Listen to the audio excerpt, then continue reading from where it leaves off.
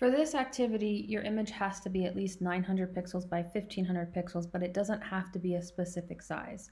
And so my image was bigger than that, so I'm going to move forward.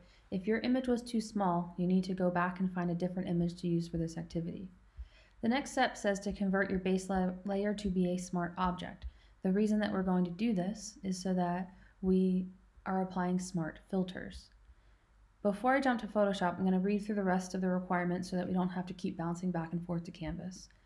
After we convert the base layer to be a smart object, we are going to create three unique stylized effects using filters. We're going to apply more than one filter to each example, and we're going to use the same base image so that we can compare the different results.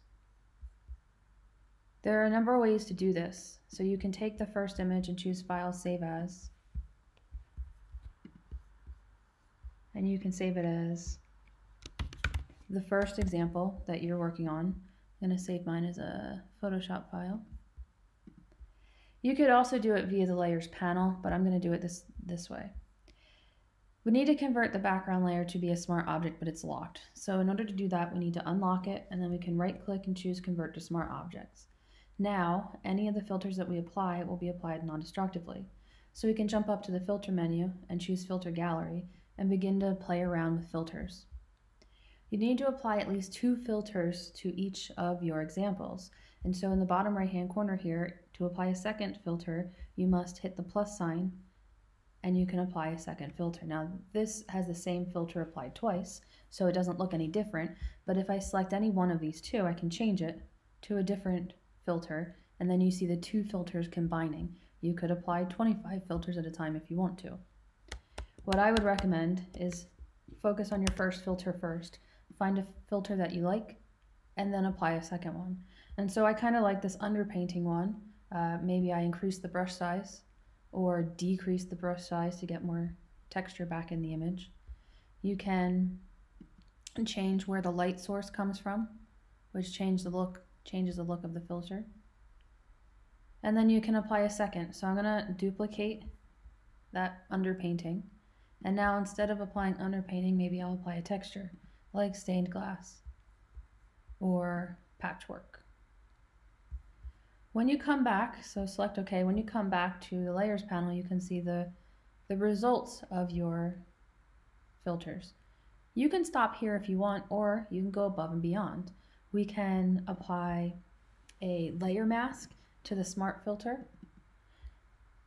And when we apply the layer mask, we can use a paintbrush to paint black on the layer mask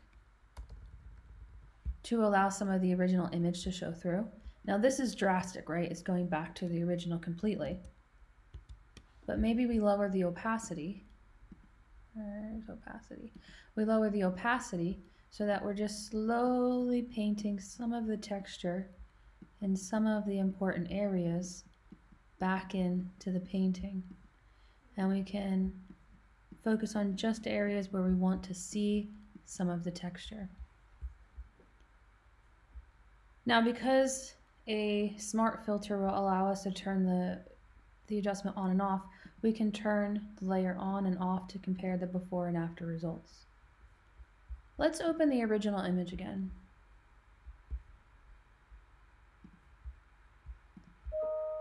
Another option for this assignment is to duplicate the background layer before you convert it to be a smart object. This way, if we wanted to apply layer blending modes to the layer or opacity to the filters, we would be able to do that and we'll still see through it to the original layer.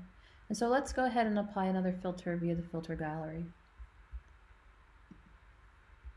Maybe we like photocopy or graphic pen.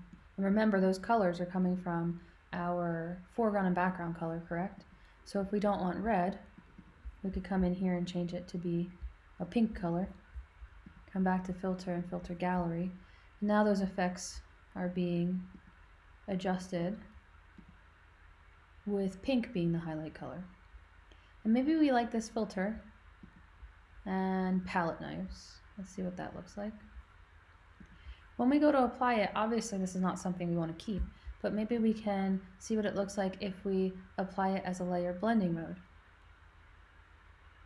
different effects can be achieved.